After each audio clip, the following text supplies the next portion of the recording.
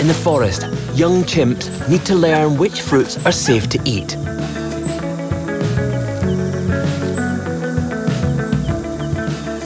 Sometimes when she comes down from the trees, I can see round her mouth um, the remnants of some wild fruits that she's eaten, or I can smell it on her breath, something sweet, but I don't know where she's got it. Yeah.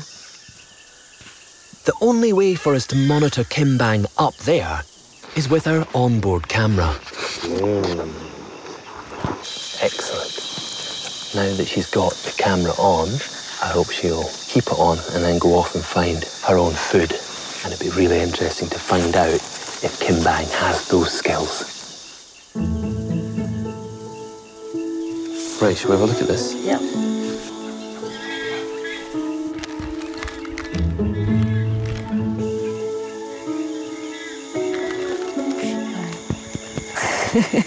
Checking the camera.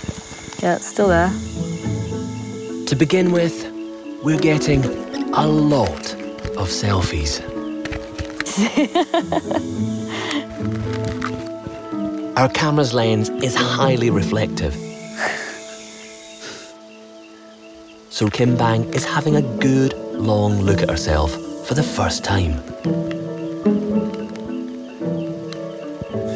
It's Great. Finally, she starts to focus on the task at hand. You actually get a real sense of how fast she's moving on the on the ground. Yeah.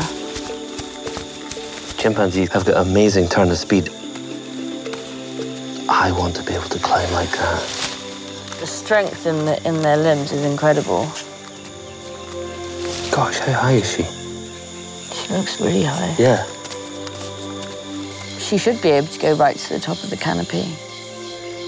She's doing a great job actually wearing it. At any point she could just rip it off if she wants and throw it out of the tree. So it is amazing actually that she's cooperating like this.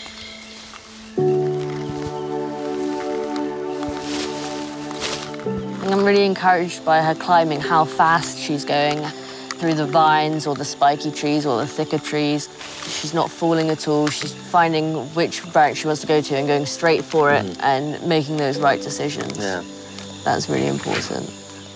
Yeah, she's doing really well. See, she grabbed Oh, something yeah. to, to eat. Yeah. You see that? Yeah. She just grabbed it from the bush. She's got it in her mouth.